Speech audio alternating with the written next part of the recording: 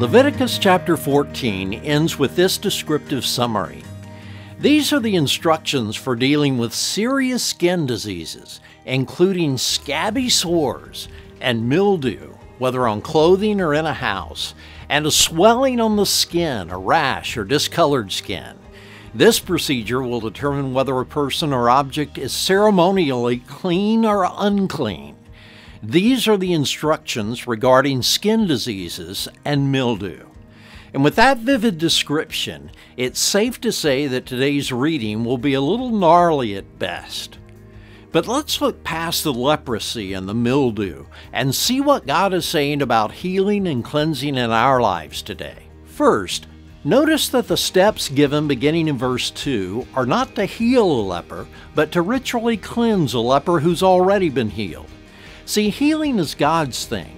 It's the sovereign act of God that takes place inside a believer's body. But the cleansing that followed, what's described through most of this chapter, was an outward expression following the healing, so the person would understand God's process. See, God heals us on the inside, but He wants the healing to be seen outwardly through the cleansing of our life and actions. That's the picture for you and I today. In the Old Testament, blood was always the basis for healing and cleansing.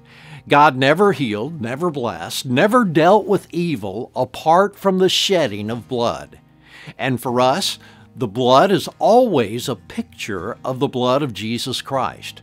Jesus' death was the death of our old nature. It laid to rest our old life. That's what's constantly being pictured for us through the Levitical sacrifices. The good news for you and I today is that Jesus is our healer.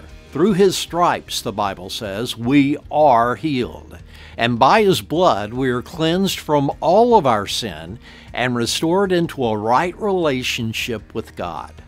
So try not to get too hung up on the scabby sores and the grotesque skin diseases today. Keep your eyes on Jesus, who heals all of our diseases and replaces our sin with his righteousness.